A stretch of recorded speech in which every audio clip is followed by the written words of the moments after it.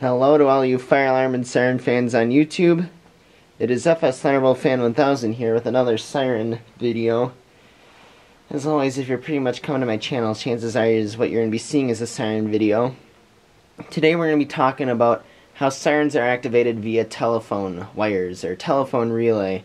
It has been a common question more through, more now than ever in the siren community because we're not seeing so much of this technology anymore. Everything is more via radio. You don't see this too much even in small towns because they'll just usually they'll just have like one siren set you can just activate it if you're doing it local via uh, some sort of push button to make it go off. But so we're going to be talking about this antiquated technology, the telephone relay. So let's get into it now. So before us today is what we have is a Bell Systems relay set model number KS16626 L8. This is your standard relay set that was used with many federal signal systems back in the day. This one came from Sheboygan. It came with my Model 2T it was in the control box. I didn't know what it was at first. Me and the electrician in Sheboygan, the city electrician, thought that this was a lightning arrestor of some sort at first, but then once I looked at it, I knew it was a ring relay. Because up until 2014, no, not 2014, 2018, well, 17. Man, I keep getting my years confused, but 2017, when the new system went in, everything was still controlled by a ring relay. So back in 1962, if you watched my old video of the Sheboygan Siren history, I'll put the link in the description below. And that goes over all the history of Sheboygan Sirens throughout the years. But they used these, and in the early times, the they had an AR timer of some sort in the old police chief's office down at City Hall. But the City Hall is currently undergoing renovations, so hopefully the city pulled this the AR out of the City Hall and maybe even the transformer set for activating these re ring relays out. And hopefully they have it, otherwise it's probably been lost to time. I made my best to try and get it, but oh well, we can't live in the past. But yeah, all 12 sirens in the city at the time were controlled with these.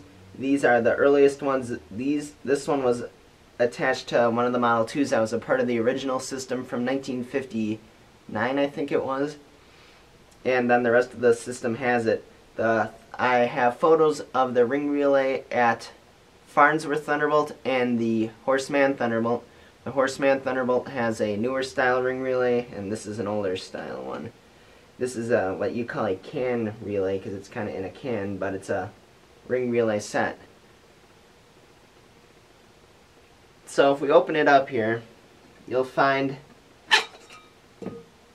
your standard relay set so this is a relay, and what happens is when it the phone rings or something, like ring voltage is like 90 volts DC at, I don't know how many hertz it might say on here. I don't know. Oh, it says on the transformer itself. 90 volts DC at 20 hertz. Well, no, it'd be 19 volt, 90 volts AC at 20 hertz, because it doesn't change. Uh, DC. So when that 90 volts would come through, this would connect, causing the two contacts, contacts to go together and activate the siren via motor starter. So, yeah, it's a pretty simple system. You got your relay here that engages when the ring voltage comes in, and then some sort of uh, resistor in there. I don't know how many uh, amp resistor it is, but because I'm not too good with the color coding, but I'm sure someone in the description can tell me how many amps this resistor is. Now on the other side you just have your terminals. Over here you have a bunch of screws over here. I'm not quite sure what these do. But this is your common, I think it's C and then H, I don't know what H is, and then L. So, yeah, if you guys know what it is, feel free to let me know in the description. But, and then it says yeah, it's got a coil, and then it even says, okay, so at 115 volts, it will pull five. It's rated at five amps, and then for 230 volts, it's rated at two amps. So it can pull a fair amount. Like you can run a fair amount through it. It's enough to power a motor starter, but you cannot use it to control a siren directly. Like run the siren voltage through these contacts because of how small they are. They're fairly small, so I wouldn't really trust it. So now we're going to go into how this would be wired up in a regular situation. I do not have a transformer that can make ring relay voltage, and the transformer that I'm going to show is like not what you would use to make this work. So let's get into it. Okay, so here we have is the whole setup. Your transformer that's theoretically making the ring voltage, your AR or AF timer. These systems were capable of being uh, either in a fire siren system, so if you had a system of 3 T22s or 1003s to alert your volunteers, or even a coded STH-10, these, they could control those too. And so the AF timer is basically being the switch that controls the ring voltage going out versus being directly attached to a siren relay to uh, control it locally, like for one siren. So inside you would have the ring voltage come in, and it the one side of it would come into terminal in an AF timer theoretically. It will differ between AR and AF timer the terminals by one because an AF can do more things, so that means there's more terminal blocks. So your power to the AF timer would come into, if you're running it on 120, would be 9 and 10. If 240 would be 10 and 8.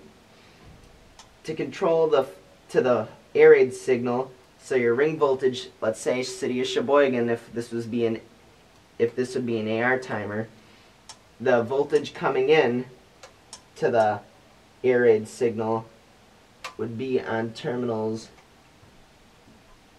would be on terminals uh, 3 yeah you would have the one part of the ring voltage coming into terminal 3 and then the other one would go directly to the relay and then you would hook up the other part going to the ring relay the other wire going to the ring relay to terminal 2 because that's what controls the air signal frequency. So whether you're pressing alert or attack, it controls terminal block 2. So it would go, it would switch, allowing current to go from 2 to 3 wherever these wheels are. So if the cam is down in a groove, it will allow voltage to go from ter terminal blocks 2 to, th well, 3 to 2 and out to the ring relay. So it's no different than a fancy light switch. All an ARF timer is a fancy is is it is a fancy light switch. So then that would go to the ring relay at the siren site. Now, like I said, if you're using this for like, if cities are going to use this for uh, fire siren capabilities, you would need two ring relays. You can't just use one because otherwise it's not going to work because you're controlling two different signal well, three different signals. But alert and attack is fine. You don't need, need two ring relays for that. So then, when, let's say you press alert, but, well, yeah, that's just the box. You press alert, what would happen is, this is already going to the ring relay, and then once you press alert, it's going to send the other half, the positive or the negative, since it's running on AC, it's flickering back 20 times a second, because that's ring voltage, 20 volt, now I'm at 90 volts AC at 20 hertz. So then it completes the circuit, allowing the ring relay to engage, then causing the motor starter to engage, activating your siren. Now these systems are faulty because if at any time these two wires like uh, connect the circuit together, complete the circuit, you're going to cause the ring relay to engage and make the motor starter engage, then setting off your sirens in your system. And cities up in current times, even Lomira and Dodge County is a perfect example of this. In 2017, I think, is either 2016 or 2017, they were having problems with their ring relays on their sirens, and it would cause their sirens to go off by themselves because if you think about it, there's probably over in Lomira, at least 25 miles of dedicated phone lines going between a central control point to the other sites that have the ring relays to activate the sirens. So that's why you don't see these too much nowadays. And on federal systems, they had the ring relay power maker transformer it was called the Federal Signal PS in later times, and in the earlier days, the TR. I don't really know what it stands for. Some people say it stands for Federal Signal Transformer, but other ones claim it stands for Federal Signal Telephone Relay. So, I don't know. But in the later days, PS stands for Federal Signal Power Supply. So if you have any questions about this and how this works, hopefully it solves it, and hopefully this can shed a little more light into seeing how siren systems used to work back in the day. If you enjoy this video and want to see more about more like this one, please consider dropping me a comment saying, hey, I liked it, or no, you didn't. And if you want to see more, whether it is tech videos about how siren systems worked, or how to wire an AF timer, or something like that, considering subscribing because I try to post at least one video a week, whether it's a siren test or a tech video. This week we're probably going to have two, this one and then the Model 5 that I filmed a couple of weeks back. So hopefully enjoyed you enjoyed the video. Please rate, comment, and subscribe.